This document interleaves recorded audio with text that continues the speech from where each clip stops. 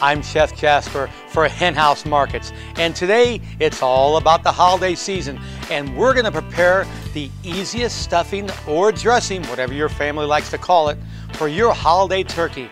Now, of course, I'm in Kansas, so we're making a Kansas cornbread stuffing. We start off with some butter, and all we have to do is just put that in the frying pan.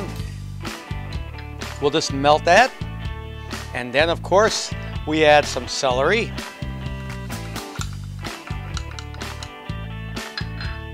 some of the onion, and we cook this down until the onions are translucent. We really don't want to burn this or really get them any crisper. We just want them nice and light because they're going to cook in our stuffing. Now our onions and celery are cooked. At this point, we're going to begin to make the stuffing. At this time, we're going to add our pepper, season with some salt, and of course, the dried sage. We'll give that a nice stir. We add our bread and the chicken broth. And we add our cornbread. So, once we add this, we'll give it a nice stir.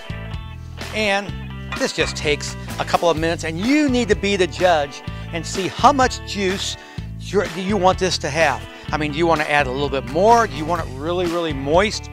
That's up to you. So I'll just continue adding the broth until I get my desired feel for it. That, you know, that's just, that's up to you. I like a moist dressing. So myself, I just add a little bit more broth as I go along. At this point, you want to add some cooked mushrooms, perhaps some chestnuts. How about some apples? This is the time to do it.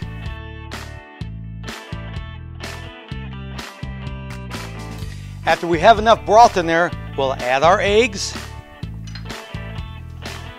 Thoroughly mix it because when you add the eggs, this is gonna be almost like a souffle. It's gonna rise.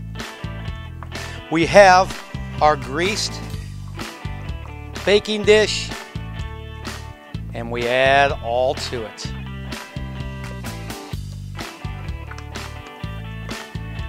Spread that around. Does this not look delicious? At this point, we'll bake at 350 degrees for about 25 to 30 minutes. Hot from the oven, our Kansas cornbread dressing, especially for your holiday dinner. Of course, along with some of that turkey, your family will absolutely love it.